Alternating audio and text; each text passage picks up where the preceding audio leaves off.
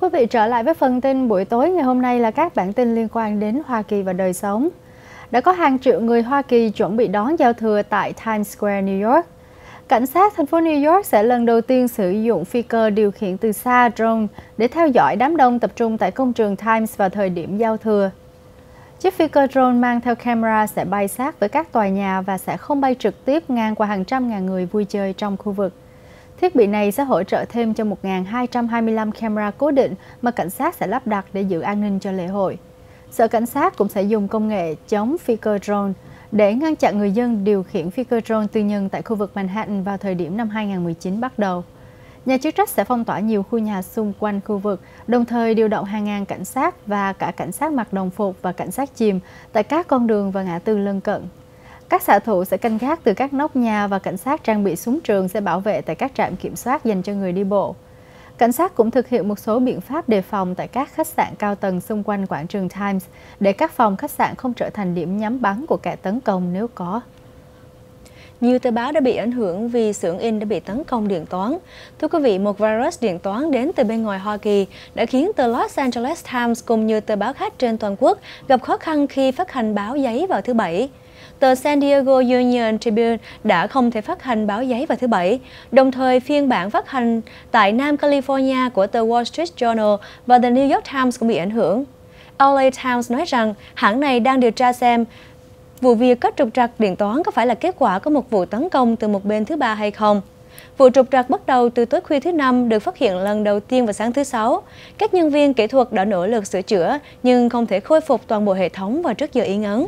Công ty mẹ trước đây của LA Times, hãng phát hành Tribune Publishing, cũng gặp vấn đề với việc in ấn vào ngày thứ Bảy. Tổng thống Trump so sánh tường biên giới với tường bao quanh nhà của Obama. Tổng thống Trump vào chiều 30 tháng 12 viết trên Twitter, cựu Tổng thống Obama và phu nhân đã xây một bức tường 3 mét bao quanh dinh thự của họ ở thủ đô Washington và Hoa Kỳ cũng cần bức tường tương tự, chỉ là lớn hơn một chút. Theo các bản tin, cựu Tổng thống Obama và phu nhân Michelle đã mua căn biệt thự rộng 743 m2 với giá 8,1 triệu Mỹ Kim hồi năm 2017. Ngôi nhà nằm ở khu Calorama của Washington, một khu vực dành riêng cho các nhà ngoại giao, vận động hành lang và chính trị gia. Ông bà Obama đã mua căn nhà sau một thời gian thuê nó từ khi ông Obama mãn nhiệm năm 2016.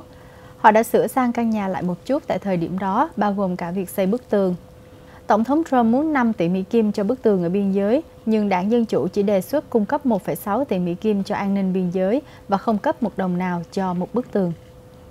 Thưa quý vị, Thượng nghị sĩ Graham yên tâm về kế hoạch rút quân ra khỏi Syria của Tổng thống Donald Trump.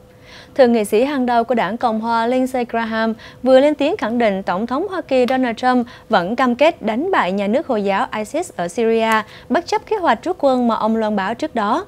Thượng nghị sĩ Lindsey Graham nói rằng vì rút quân được tiến hành chậm lại và giờ đây ông đã yên tâm về cam kết của Tổng thống Trump sau bữa ăn trưa với ông vào hôm Chủ nhật. Kế hoạch rút quân của Tổng thống Trump đã vấp phải sự chỉ trích mạnh mẽ từ các đồng minh lớn và các đảng viên Cộng hòa cấp cao như ông Graham. Thượng nghị sĩ Graham nói rằng quyết định rút quân của Tổng thống Trump là một sai lầm lớn giống như cựu Tổng thống Obama và kêu gọi Tổng thống Hoa Kỳ đảo ngược quyết định này vì nếu Hoa Kỳ rời đi ngay lúc này, người Kurd sẽ bị tàn sát. Vào hôm 19 tháng 12, Tổng thống Trump đã tuyên bố rút khoảng 2.000 quân đội của Hoa Kỳ ra khỏi Syria và khẳng định rằng ISIS đã bị đánh bại. Cuộc đua chó San thường niên được tổ chức ở Tây Ban Nha.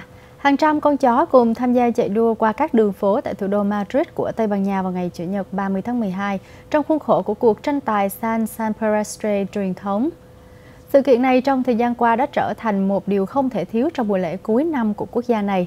Cuộc thi San Perestre Urban Tour được thành lập bởi Hiệp hội Al Refugio, một tổ chức phi lợi nhuận luôn đấu tranh chống lại việc bỏ rơi và ngược đãi động vật.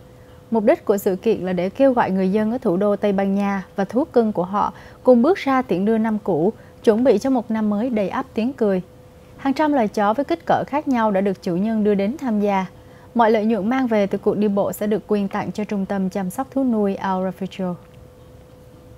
Một nhóm pháp sư người Peru dự đoán Tổng thống Peru là Nicolas Maduro sẽ bị lật đổ vào năm sau. Thưa quý vị, một nhóm pháp sư người Peru đã vừa lập đàn tế lễ trong vùng ngoại ô của thủ đô Lima vào ngày thứ Năm 27 tháng 12 để dự đoán vận mệnh của thế giới trong năm 2019. Theo các vị pháp sư, Tổng thống Venezuela là Nicolas Maduro có thể sẽ bị trút phế sau khi Hoa Kỳ chính thức can thiệp vào nội bộ quốc gia Nam Mỹ này. Ngoài ra, năm 2019 cũng sẽ chứng kiến nhiều trận thiên tai thảm khốc như là núi lửa phun trào và hiểm họa sóng thần, nghiêm trọng hơn cả những năm trước đây. Nghi thức cầu nguyện ngoài trời nhằm mục đích kêu gọi thần linh mách bảo vận mạng của các vị nguyên thủ trên thế giới như Tổng thống Hoa Kỳ Donald Trump, Tổng thống Nga Vladimir Putin và Chủ tịch Bắc Hàn Kim Jong-un hàng năm đã trở thành truyền thống không thể thiếu vào dịp cuối năm đối với người dân Peru. Quý vị vẫn đang theo dõi phần tin buổi tối cùng với Thiện Hạnh và Hoài Sa. Sau một vài phần tin thương mại sẽ là những bản tin có liên quan đến Việt Nam và giải trí.